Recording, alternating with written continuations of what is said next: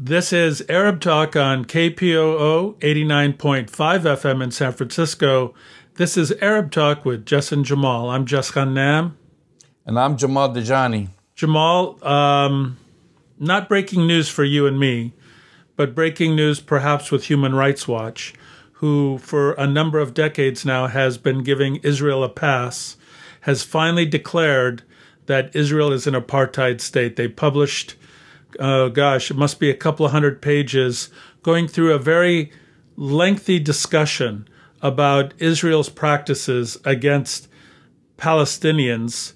Um, and have finally concluded, even though the rest of the world knows this and has known it for many decades, that Israel is an apartheid state. So we're going to be talking with uh, Diana Buttu uh, briefly about that. You did an excellent interview with her but even though this is not breaking news to most of the world, this represents a pretty dramatic shift uh, in terms of the human rights community finally getting on board with calling Israel what it is an apartheid state. Just this is uh, big news. I mean, it's been played down right here in the U.S., even though it was reported in the New York Times. Oh, we haven't heard anything. Reuters, yeah. and you know, a little bit more, actually, a little bit on CNN and more on CNN International. But you're absolutely right. I mean, this big report released uh, on uh, April 27th uh, basically says that Israel has a policy to maintain the domination by Jewish Israelis over Palestinians, including those who are its citizens, which is very important. Right. Important, you know what they said. So, so this is this is a, a real big story. You know, um, you know the Human Rights uh, Watch report. He said, yeah, 213 pages to be exact, entitled "A Threshold Crossed," states that the present day reality is that Israel is the, is the sole governing power, which we've been talking about it For all decades. the time, that Israel controls Palestine from the, from the Jordan River all the way to the Mediterranean Sea, regardless that there is a Palestinian Authority in the West Bank, regardless that uh, uh, Gaza is under Hamas control. But nevertheless, I mean, regardless of all these things, Israel controls the whole land by air, land, and sea. So now Human Rights Watch recognizes this and says that the conditions for the population is a, an apartheid condition. Right. And of course, we heard the typical responses from the Israeli government, Jamal. Mark Regev said that the report was anti Semitic. And that's the only criticism that we're hearing from the Hasbara brigade that is coming out now trying to defend the uh, Israeli apartheid state now, saying that the Human Rights Watch is now peddling anti Semitic news about uh, Israel.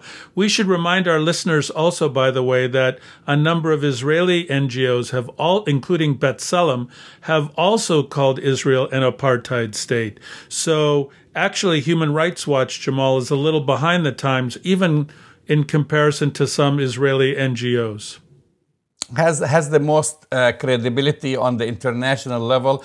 But you know, we're going to talk about this. Let's first listen uh, to Diana Buttu, who's talking to us from. Uh, she's on the ground in Palestine. Israeli authorities are committing the crimes against humanity of apartheid and persecution. Human Rights Watch said in a report released on April 27th. The finding is based on an overarching Israeli government policy to maintain the domination by Jewish Israelis over Palestinians and grave abuses committed against Palestinians living in the occupied territory, eh, including East Jerusalem. Also, this week, the world has witnessed images and videos of Jewish extremists who, emboldened by their political patron's recent election to the Knesset, marching to Jerusalem's old city and chanting death to the Arabs. Joining us from Palestine to discuss this and more, Diana Buttu. Diana is a lawyer and former legal advisor to Palestine Liberation Organization Chairman Mahmoud Abbas and Palestinian negotiators. Welcome again to Arab Talk, Diana. Thank you, Jamal. Thanks for having me again. Let me start by the big news of the day. Human Rights Watch is saying what Palestinians and human rights activists have been saying for years in its 213 page report titled A Threshold Crossed Israeli Authorities and the Crimes of Apartheid and Persecution. Somehow it falls short of calling Israel outright an apartheid state, yet uh, it says that Israeli authorities are committing the crimes against humanity of apartheid and persecution. Let's clarify this. What's, what's the difference between the two? There really is no difference. That's the that's the the, the, the crux of it all. I think what they're trying to do is trying to split hairs. That I think for them, the idea is that there are acts of apartheid that are being committed that need to be addressed, but that unlike South Africa, which is which was modern day South Africa, which was founded on apartheid. I think they're trying to fall a little bit short of saying that it, it meets that threshold, um, that it wasn't based on that. I, of course, disagree. And many others, of course, disagree as well. We know that Israel is an apartheid state. It's been practicing apartheid for many, many years. And what's fascinating with all of these reports, Jamal, is while they're very welcomed, I very much welcome the B'Tselem report. I very much welcome the Human Rights Watch report and other reports.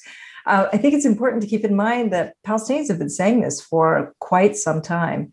We've seen academic after academic write about it. We've heard activists talk about it. Uh, we even labeled the wall the Israeli apartheid wall. We've seen Israeli Apartheid Week take place around campuses around the world since 2005. So this is nothing new. What's new is that we finally see that one of the largest human rights organizations is also calling a spade a spade and and that part is very important.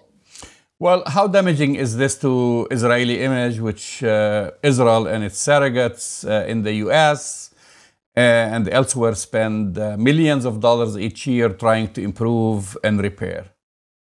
You know what is the expression? Um, you could put lipstick on a pig but it's still a pig and and that's what Israel has been trying to do for all of these years. They've spent, uh, as you put it, millions of dollars in Hasbara and trying to in propaganda. But at the end of the day, we we know what the reality is.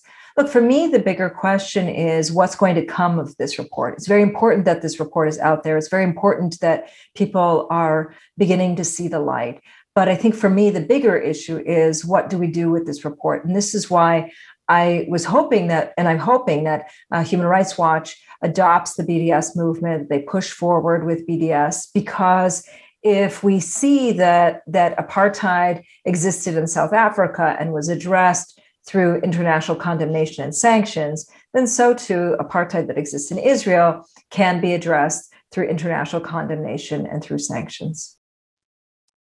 Well, uh, okay. Well, then the big question would be, uh, what about the decision makers, the big players in the U.S., Canada, the UK, and the EU? Uh, now, what's going to be their excuse? I mean, they've been attacking the ICC.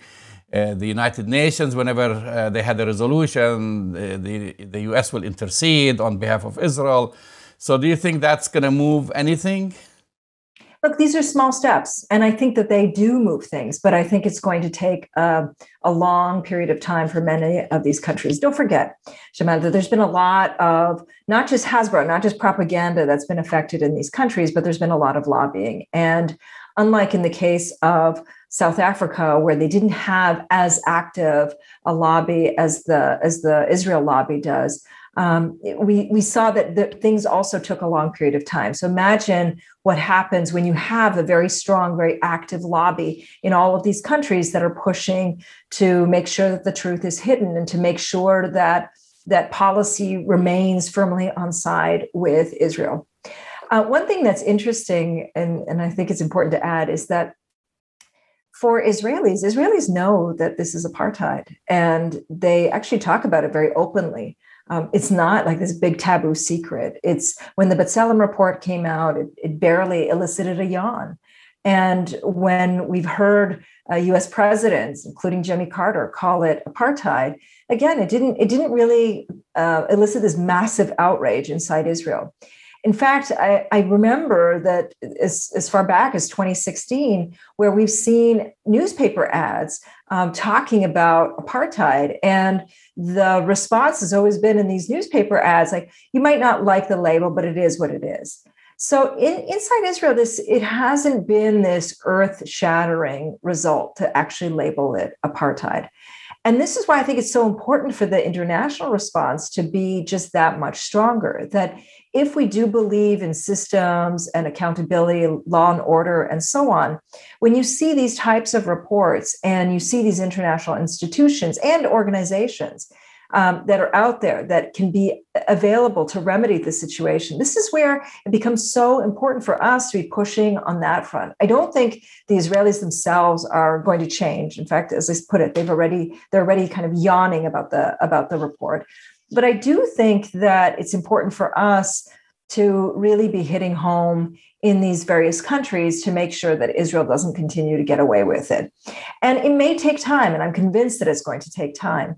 But I also believe that we have justice on our side, and we have truth on our side. And it's becoming much more difficult for Israelis to pretend that there is nothing. When you see the Peter Beinarts of the world, when you see the Nathan Thralls of the world, um, people who were either hardcore Zionists or soft Zionists, beginning to change their tune, that's more of a question, that's more of a reflection of where American Jewry is, um, rather than and where where Israel is in terms of wh- the way that they see Israel, than it is of anything else. And so it's important for us to continue to push home on these on these issues.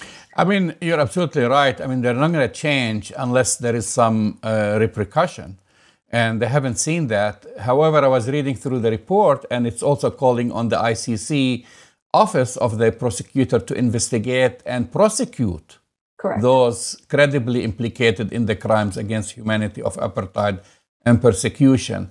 It also says countries should do so as well as in accordance with their national laws under the principle of the universal jurisdiction. So uh, it talks about bans, uh, travel bans, it talks about assets freeze, it talks about arresting officials. I mean, our country is going to uh, act because always, whenever something like this happens, Israel somehow kind of uh, circumvents this by having, uh, you know, backtalk negotiations to protect its officials, for example, from tra- traveling into the EU. I mean, yes. just let's just make it as simple as this. They never get arrested. Yes. Look, I, will it happen? I don't know. I hope that it will. And I, I hope that, you know, one of the things, Shamed, that has been so frustrating um, being here and living here has been this doublespeak that we've heard on the part of the international community. So, on the one hand, the international community is always chastising us and cast, you know, and saying all of these things of how we need to follow international norms, international law, and couch ourselves in terms of international legitimacy and so on. And yet at the same time, when when that that hoop is jumped through, and when we do do it in those terms, we see that they're also very uncomfortable with it. So they want us to be in a situation where we're constantly just attempting to negotiate our way out of apartheid, uh, colonialism, dispossession, occupation, and they're not willing to do anything about it. In other words, they've they've raised their hands and pretend that they have nothing to, to do with this. The big problem is, however, is that they have everything to do with it. It's all of these countries that have enabled Israel, whether financially, politically, or by turning uh, a, by by turning a, a, cheek, right, by turning away and looking away. That all of these countries have actually been complicit in all of these actions that Israel has been carrying out. And I remember very distinctly in 2004 when the decision on Israel's wall first came out in July of 2004 again, this was very much applauded by the international community. Yes, Palestinians have gone the right technique. They're not using violence, they're using nonviolent means. And yet, when we turned around and said, Great, now are you going to help us? They suddenly ran the other direction. So, one of the, the important things about this report is that that we do see that international organizations are coming forward and saying the same thing. And it lays the groundwork for uh, for the ICC and for others to be able to use this and to be able to carry it forward. So that part is very important. My skepticism remains with the fact that at the end of the day, the, these nation states are a boys' club, and they're not going to do anything to harm one another. Um, you know, it's you scratch my back and I'll scratch yours. And if it's the Palestinians who end up having to to be uh, to pay the, a very heavy price. They, they do it time and time again. The important thing, though, is that we have these tools and that we continue to push for them, and we continue to highlight just how just just how uh, two-faced and, how, and the auda- and the audacity that these countries have in terms of telling us how it is that we should behave. If I hear once more from another country about how it is that we should be behaving, um, you know, it's, it's very, I can very simply turn to them and say, well, and you've also got all these international reports that are telling you how you should be behaving as well. So, you know, let's let's just stuff it. Um, so anyway, that's the that for me is the the the major point is that I'm not I'm not convinced that they're going to do anything because of the old boys club, but I do think that it's important for us to continue to push. Moving to the recent events in uh, Jerusalem, things have uh, a little bit calmed down since the Israeli removal of the barricades put uh, in, at, in Damascus Gate. But the occupation has not disappeared. No. Uh, the racist Kahanists are, are going nowhere. They're actually now in the in the Knesset and uh, and beyond.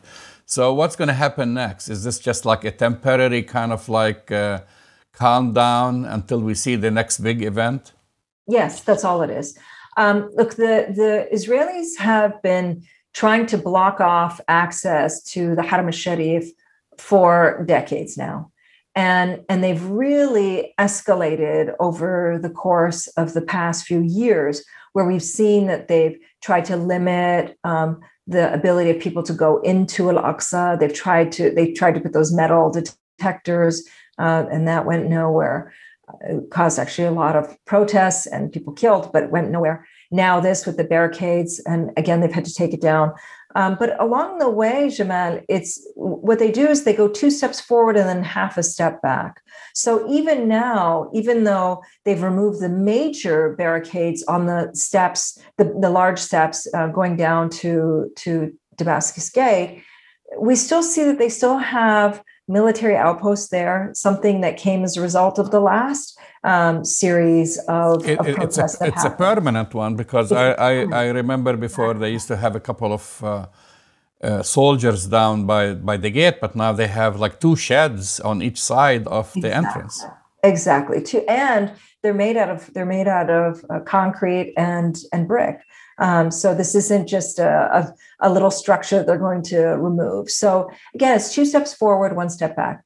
One thing that we should be looking out for is this this coming weekend on May the 9th and 10th, because that is uh, what the Israelis call Jerusalem Day. It's the the, the joyous, and I repeat joyous for them, um, commemoration of the occupation. So instead of them looking at themselves in the mirror and saying we are colonizers and occupiers facing international condemnation this becomes a big rally day. And on jerusalem day um, you'll see that once again as they do every single year you're going to see these same kahanists and these uh, the, these is, israeli mostly youth um, go in through through the old city and terrorize palestinians who are living in the old city I've seen them, I personally witnessed them um, spit at, at shopkeepers. I've seen them steal from shopkeepers.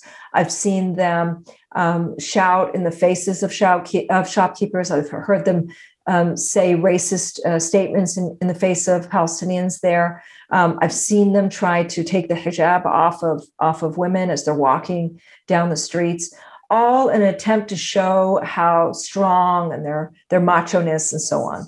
So there is. I mean, recently also a call uh, by one of their MKs to strip uh, Palestinians with Israeli citizenships uh, from their citizenship and basically get rid of them. Correct. That is uh, Smotrich. Smotrich is a member, he's the head of the Religious Zionism Party. He's a former minister of transportation, and his exact words were um, Arabs are citizens of Israel for now. Um, for the time being, and and so he is talking about this. So we will continue to see this because the this this latest round is over, but the battle continues. We still we have these kahanists now that are in the Knesset. These kahanists who who are openly supportive of ethnic cleansing and now have uh, parliamentary immunity. And so we're going to continue to see much, much, much more of this. I read today in Al Quds newspaper, uh, a newspaper uh, close to President Mahmoud Abbas, that Abbas uh, wants to delay the elections. Correct. Uh, supposedly after pressures from the U.S. government based on on the idea that the Biden administration is about to give, and this is this is their editorial uh, or article that Biden the Biden administration is about to give uh, Palestinians some uh, rewards like the reopening of the PLO office in Washington, D.C., the uh, reinstatement of aid to, to Palestinians, and uh, supposedly this, according to U.S. government, the U.S. government thinking that this will uh, give incentives to vote for moderates and avoid loss uh, for the main Fatah faction. What's the real story? Look, the real story is, is, is definitely not that. It's a little bit more complicated. Um, when the elections were announced, I think that Mahmoud Abbas was thinking that this was going to be an easy sail to victory. And uh, and incidentally, this is the way, the way that he thought in 2006 as well.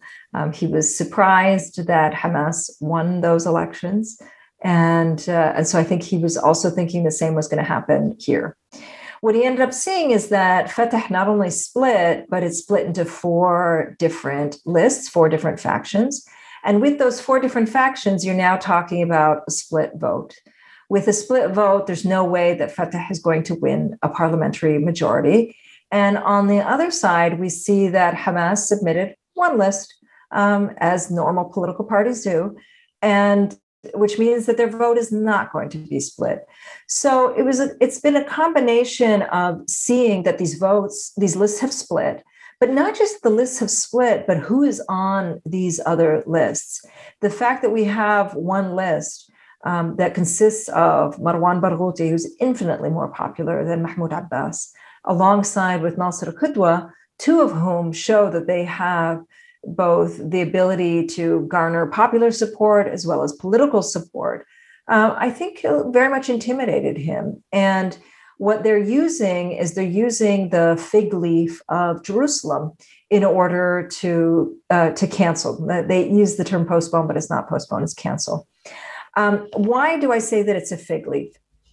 Let me be very clear in saying that voting in Jerusalem is very important. It's of it's so important uh, to me as a as a Palestinian. It's very important on on all levels. I, I don't want to discount it at all. And we saw just with the course over the course of the past week that the resistance that we saw by people in Jerusalem is is so vitally important to um, to our struggle and to even to lifting our, our spirits. They're the ones who are on the front lines when it comes to Israel. Now, while, while elections in Jerusalem are important, it's important also to put elections in Jerusalem in their proper context. Um, of the more than 100,000 Palestinians who've registered to vote from Jerusalem, the Israelis only allow a maximum of 6,300 to vote inside uh, inside the inside Israeli um, uh, inside uh, Israeli post offices. Okay, so and this isn't new. This has been from from when the when Oslo was first signed in the 90s. Um, we saw this happen in 2005 with the election, again 2006 with, with, with that election. That under the agreement that was established or that was signed with Israel back in the 90s, Palestinians a maximum of 5,397. This is up until 2006 Palestinians were, were able to vote in the in, in the post offices in Jerusalem. It's now increased to 6,300 because there's now six post offices. What that means is you're looking at the vast majority of, of Palestinians from Jerusalem, over 100,000, who end up voting in different places. They either go to Ramallah or they go to, um, to Bethlehem or they go to Bir Nabala or they go to any one of the numerous voting stations that are, that are outside of um, those post offices, outside of those six post offices. And that's important to keep in mind. So what uh, Mahmoud Abbas is talking about is he's saying that unless he can guarantee, unless there's a guarantee given that East Jerusalemites can vote, he is going to postpone the elections and we're going to probably hear about it this thursday. The problem is is that unless you actually scratch the surface you don't really know what he's actually talking about as i mentioned there's only six the, the post offices can only handle a maximum of 6300 voters this is by agreement with israel and the vast majority vote in in other places anyway plus if there's one thing that covid has taught us is that you can vote in different ways. You can have electronic voting, you can have voting by fax, you can, there's many, many, many ways. I think that while it's important to focus on Jerusalem because Jerusalem is quite central, the part that he seems to be ignoring is the impact that it's having on candidates in Jerusalem. The fact that we see that candidates are being arrested, the fact that we see that election activities are being shut down, the fact that we see that um, that candidates who are from Jerusalem are saying that they're afraid that their their IDs, that their um, permanent residency status is going to be stripped from them because this is what Israel did in the elections in 2006. These are things that shouldn't be discounted or taken lightly. What instead Mahmoud Abbas is, is focused on solely is the actual casting of the ballot um, putting a ballot into the box. And I think that the more important thing that he should be focused on is what it's like to be in Jerusalem and actually voting. And, and that part he doesn't care about. So instead, what we see is that now this is going to be the reason that they're going to come forward and actually um, cancel uh, cancel the elections. And I do suspect there's a lot of talk right now that there is a, a unity government that's about to be formed between Hamas and between Fatah. And the reason that they're going to form it is because it's really in no neither of their interests to actually hold elections. Both want to see that there are no elections, but yet both want to continue to rule. So this is what I suspect that we're going to be hearing um, over the next few days: is the cancellation of elections, w- with the excuse given that um, that that voting in Jerusalem can't happen, and that instead we're going to see a unity government form. What's Israel's uh, role in this? You, you, spoke about the fig leaf. I mean, could Israel be the one providing the fig leaf by because they know if this is the condition that Abbas has put forward, it's very easy for them to prevent Jerusalemites from voting. They've done that in the past. Absolutely, and and not only are they providing it, um, I think it's important, Jamal, to put it also in, the, in its proper context. In the elections that, that there were in the in, in the 90s, and then the elections in 2005 and the elections in 2006, there was the ability to vote in at, at these various post offices, but um, they also gave candidates, and they've given candidates a hard time for a long period of time. And uh, but now what's changed is that we now see that this administration has been completely and totally emboldened by the U.S. government.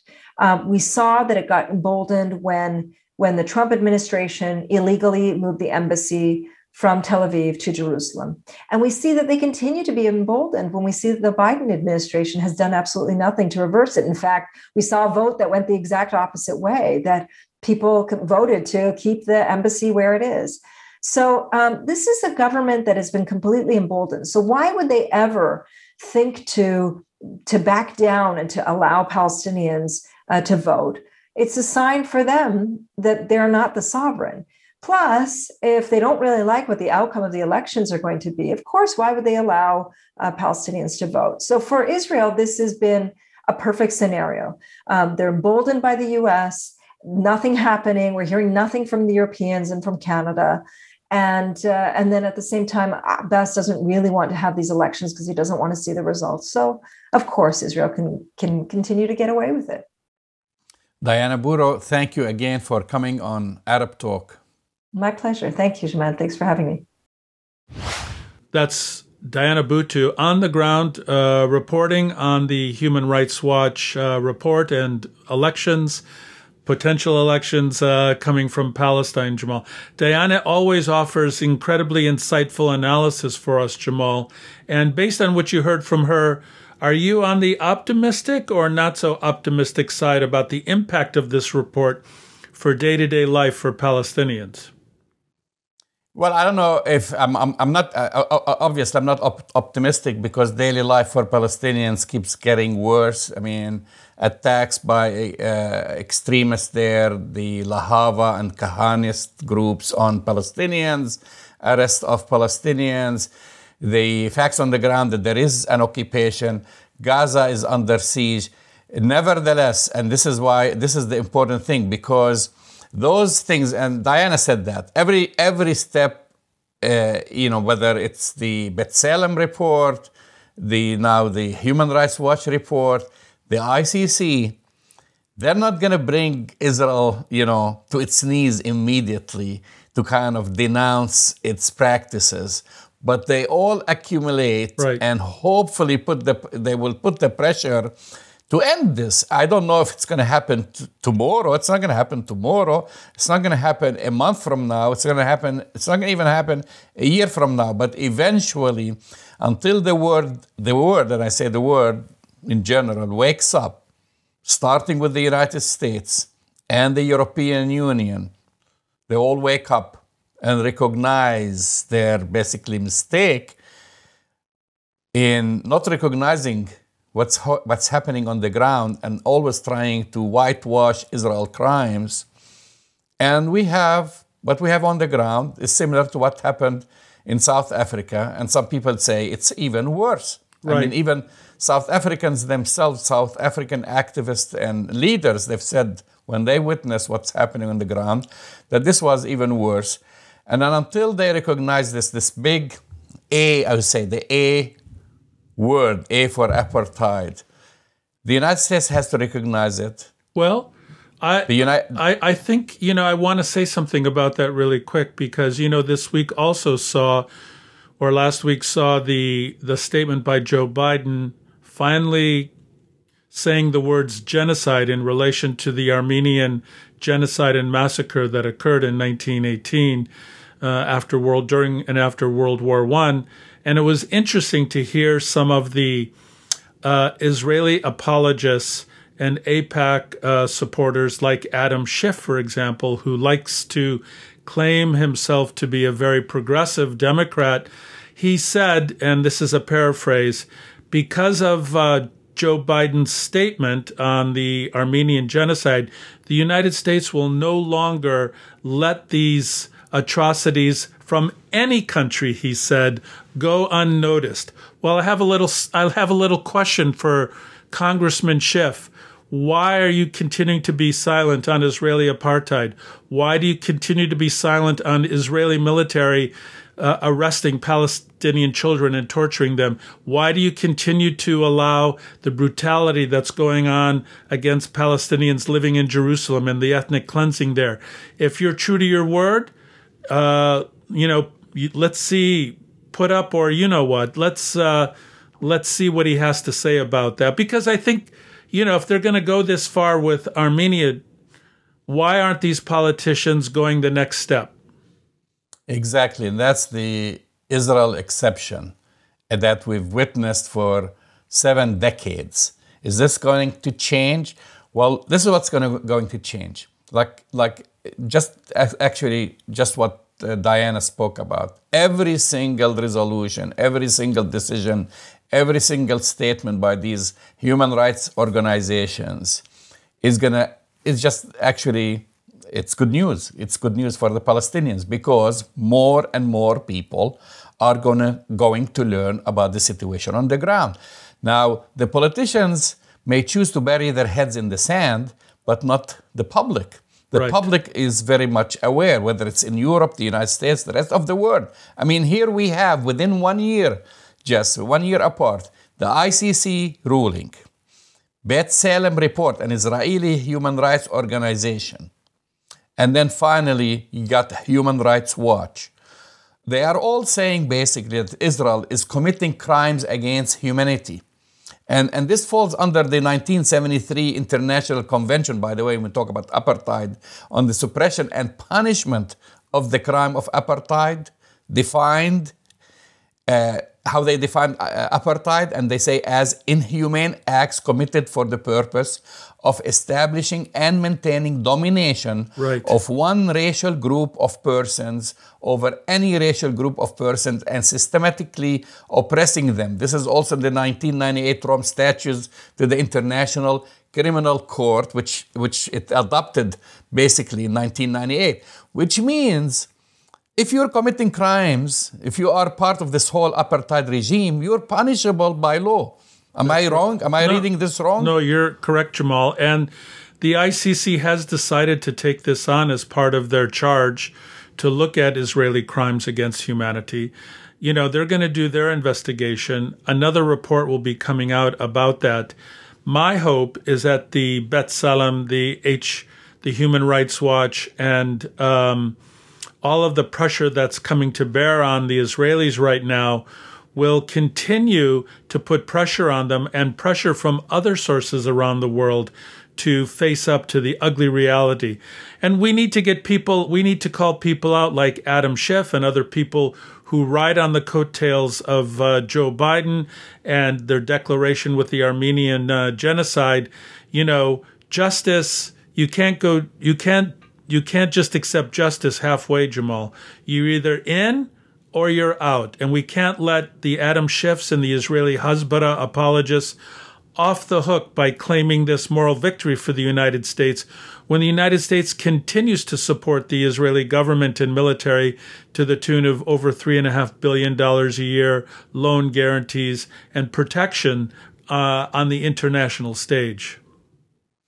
Well, uh, and you mentioned the word Hasbara, and so you're absolutely right. The Hasbara machine It's and un- surrogates unbelievable. right here in the United States is going to be.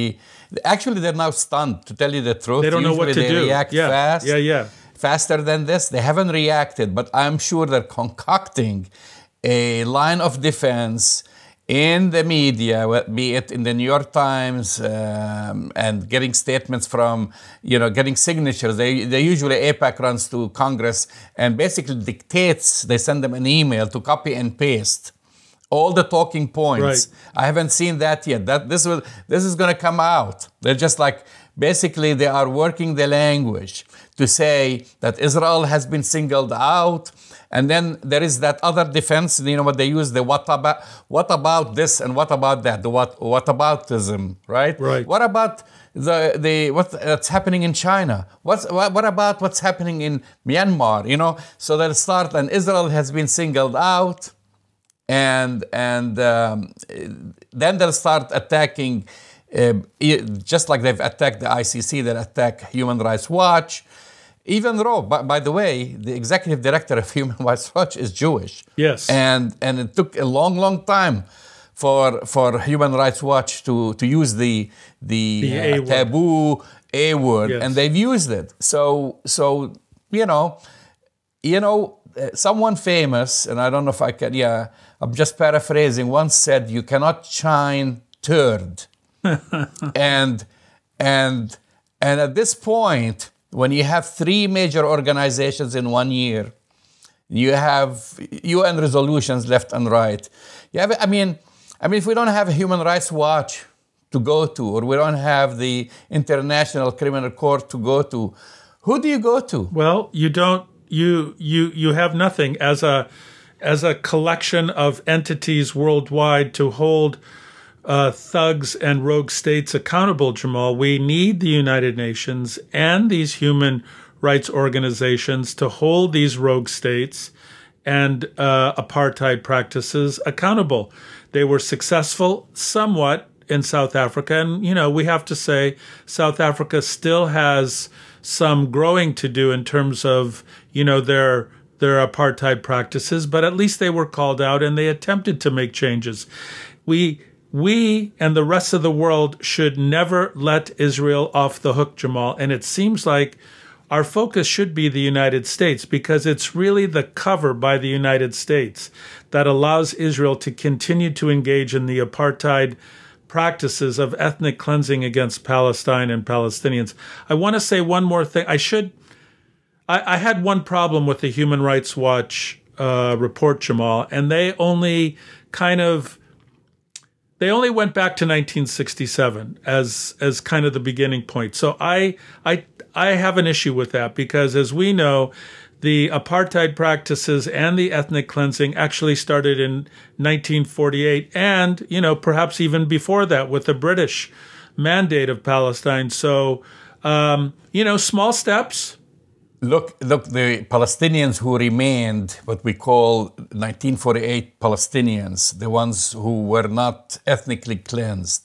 Well, some of them were ethnically cleansed from their villages, but moved to another village, but stayed within under Israeli control, they couldn't travel up until 1965. That's right. From 1948 till 1965, they couldn't go from one village or one town to the other. Like, let's say you're a Palestinian living in Akka, you couldn't travel to Haifa without getting a special permission from the Israeli military up until 1965. And those were Israeli, supposedly Israeli citizens. Well, Jamal, and you know, we we have to remind people that this started in 1948 with the Israeli apartheid and ethnic cleansing. And we have to go to the present.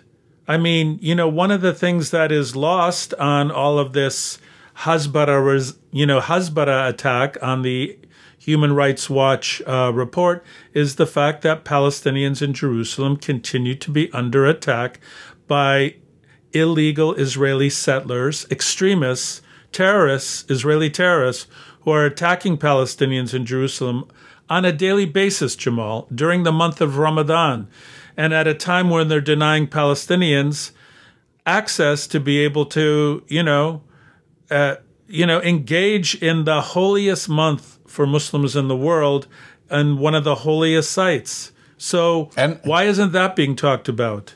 Well, well, I mean, again, like I said, that expression "you cannot shine dirt" is that people saw those images. Yes, right. The U.S. U.S. congressmen, except the, of the few like uh, Representative McCollum and, and and few others, spoke against this.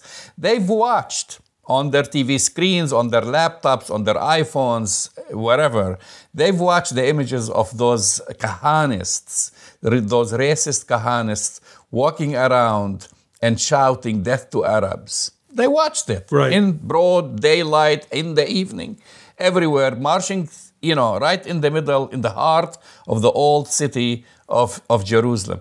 So again, you, you cannot hide these things. People might politicians is one are one thing they can bury their heads in the sand but the, the but but the genie is out of the bottle and people see these things well that you're listening to arab talk on KPOO san francisco 89.5 FM. Well, that's why I think, Jamal, that the Armenian declaration by President Biden may portend some positive movement along the lines of acknowledging the atrocities that have been and continue to be committed against Palestinians. Let's not forget that the Democratic Party is moving more in a more progressive manner, more progressive politics. Not fast enough not fast enough, but we know that the demographic changes in this country and the demographic changes within the Democratic Party are going to point to a more progressive politics.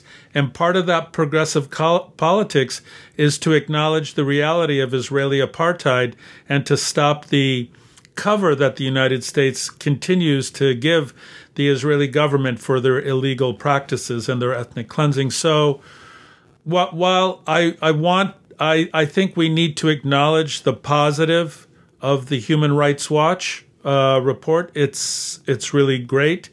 We need to remind ourselves and our listeners and our viewers that it's one step, and not to get too excited. It's great, but it's one step, one step forward, and we need to continue to push.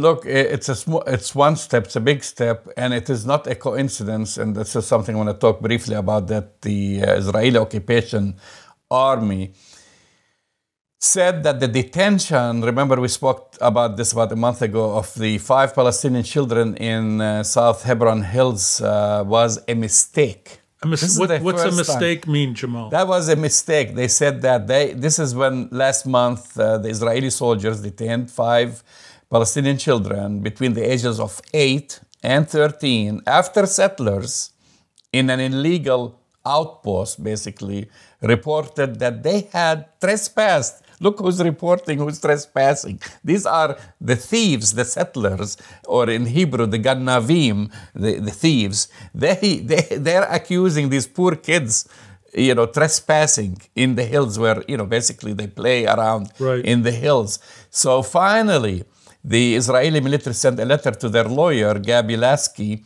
expressing regret you you know, and that's not a coincidence that this comes right when this uh, exactly. report, the human rights report, was issued.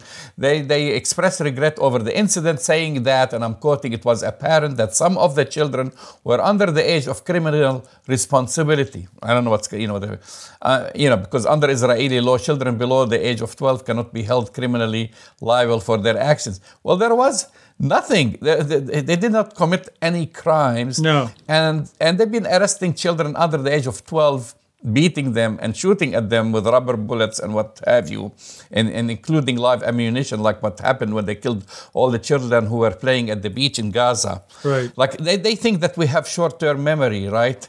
Uh, well, and and and then they, it's signed. They're saying uh, there was no cause to detain these minors by the military force. This is a first yeah. again. Yeah. And we we I think you're right, Jamal. We have to take that seriously that this is not a random occurrence, that it's in, occurring in the context of the larger international movement of trying to attempting to hold the Israelis accountable for their brutal uh, and vicious and illegal attacks on Palestinian children. We we we have reported on this, Jamal, but we we need to report on it, I guess, more the hundreds of uh, Palestinian children that remain under indefinite detention by the Israeli military without any due process or due cause and subjected to harsh, if not techniques consistent with torture.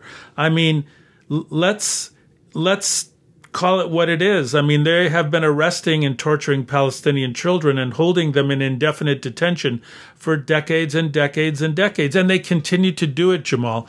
So the Human Rights Watch, uh, you know, report comes at a time that it's not that the threshold has been crossed. Really, what we should say, Jamal, is the threshold has been crossed psychologically for Human Rights Watch because really nothing has changed in the one week or the one year. I mean, no, I mean, in that report, this is what Palestinians have been talking about for decades. For decades. Decades. I mean, there is nothing that surprises you or me, but it's a big, uh, you know, uh, it's going to have a big impact, in my opinion. Well, we'll continue to report on this, Jamal, and I'll be very interested. I mean, the first salvos of the Hasbara, of course, were Human Rights Watch, even though, you know, as you said, the executive director is Jewish.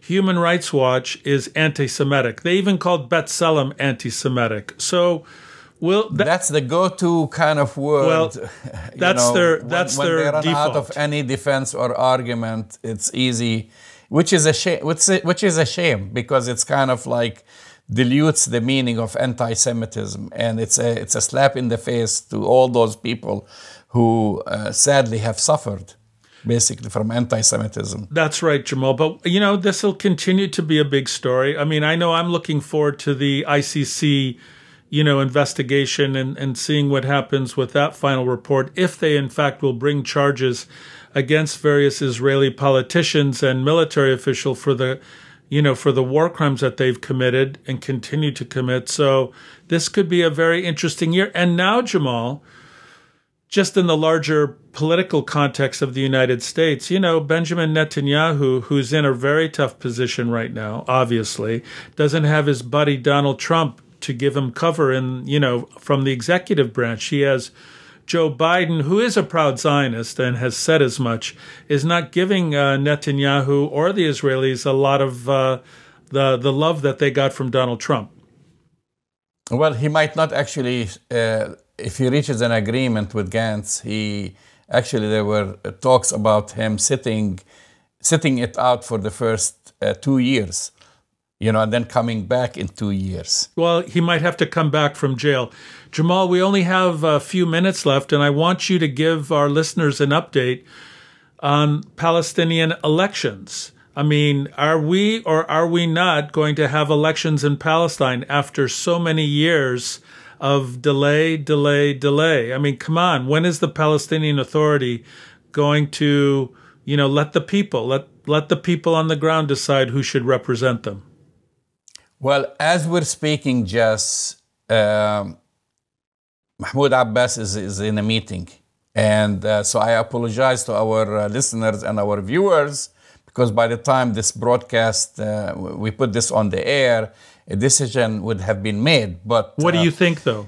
But what I'm thinking is there might be a postponement uh, or uh, even postponing the decision now uh, because it does not look good for uh, President Mahmoud Abbas or, or to the Fatah party if they hold elections. I mean, this is, I'm just looking at it in a pragmatic way because Fatah, as we are speaking, has split its uh, coalition into three. So, right. so they are split into three, which is a disaster for Fatah, right? Because we know what happened in 2006. That's if right. You, if you remember 2006, uh, we saw Hamas win in a landslide, a landslide. victory right. after campaigning a, in a basically they didn't even spend a lot of money. They just said that the uh, Fatah and and the Palestinian Authority were they, their main campaign was corruption, and people bought into this, and and basically it sparked the crisis. And we know what happened after that. That the United States stepped in and Israel they stepped in and and reverse these elections. I mean, it, you know, people don't talk about that. You know, I mean, whether you like Hamas or you, or you dislike them, you agree with them, but they won fair and square, and they got basically, uh, you know, gotten rid of. Now their popularity now has fallen. They're not as popular as they were in 2006 because conditions in Gaza have steadily deteriorated, but they remain unified. That's the difference between them and Fatah. Hamas remains unified. Right. They are disciplined, and Fatah is split into three rival par- parliamentary lists. And it will be, and Mahmoud Abbas knows if he holds the elections on time, uh, you know, they're going to lose. He is 85 years old. Everyone around him is 70 and over. I mean, this is the leadership. This is the so-called change. And they're always talking about giving uh, the new, you know, the young generation. Yeah, well, platform. the young being 70 years old, I guess. yeah, so the young is being 70, and Mahmoud Abbas is 85. If they run today the way it is, they are guaranteed to lose. So, uh, are they going to, going to postpone? My prediction they will postpone. If they postpone, it means it will never happen because they postponed also also in 2016. So every time they say they talk about postponement, we're not talking about postponing it a month or two. We're talking about years to come. But he is in a pickle because all eyes are on him. All eyes are on Fatah. Even uh, the, the, the, the leaders of those three three um, parliamentary list. They want the elections to happen. Of course. Because they're kind of sick and tired to see the same old people uh, running the show. And so, what he might do is he's going to use the excuse of Jerusalem because Israel does not want Jerusalemites to vote, you know, even though uh, under the uh, interim so called peace agreement that never reached in 1990, the Oslo uh, Palestinians were supposed to, uh, in Jerusalem, were supposed to vote, and even 6,000 of them, some around 6,000, and Diana Buttu talks about that, they were even should be allowed to submit their, their ballots through Israeli posts, and the others will have to either travel to Ramallah or other places and cast their vote. Israel saying, no, they cannot vote. So that could be okay his veil to kind of hide behind and said, it's not, "We're not going to hold the elections until until Jerusalemites vote, which might never happen." Yeah, it's it's really disappointing, Jamal, because probably what's going to happen is that Mahmoud Abbas will get sick. He'll pass on. You know, at some point, obviously, he's 85, as you said. His health is not great, and then there'll be a power vacuum. Uh, left in the electorate, and it'll be much more difficult to hold elections in this more even more chaotic situation. So a, a real leader would would let there be elections and let this process take hold and let the people decide who they want to represent them. And we can hope and continue to hope that uh, you know that will happen so that Palestinians can decide for themselves who to, who represents them. Well, on that note, uh, you've been listening to Arab Talk on KPOO San Francisco 89.5 FM. Go to our website, arabtalkradio.com, to download all our shows there, and we will talk to you next week. See you then.